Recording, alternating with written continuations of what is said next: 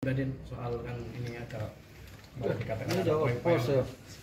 untuk menjegal lah untuk pencalonan ini kan sehingga patut disesalkan dan sangat memprihatinkan ada gelagat dan gejala ya, praktek politik yang tidak positif atau negatif ya, dan bahkan bersifat dekonstruktif merusak yaitu politik penjagalan yang tidak siap bersaing dan bertanding secara fair, secara positif dan konstruktif.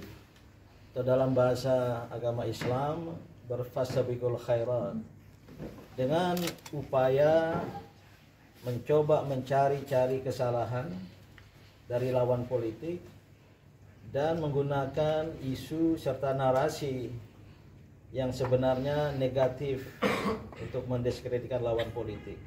Ini yang terjadi terakhir ini ya.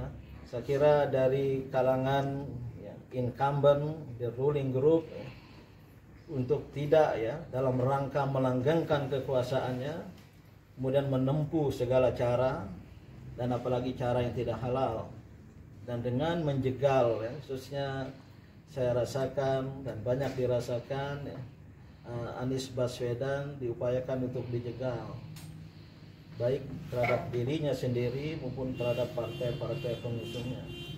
Ini sungguh perbuatan tercela ya, yang jauh dari etika politik dan saya berkeyakinan kalau ada seseorang atau sebuah partai politik ya, yang dihinakan, didiskreditkan seperti itu, ini justru membuka pintu bagi rahmat Allah Subhanahu wa taala untuk memenangkannya.